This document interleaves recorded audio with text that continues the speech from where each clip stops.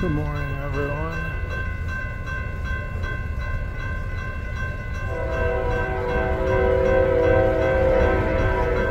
We are out here for 334 this morning.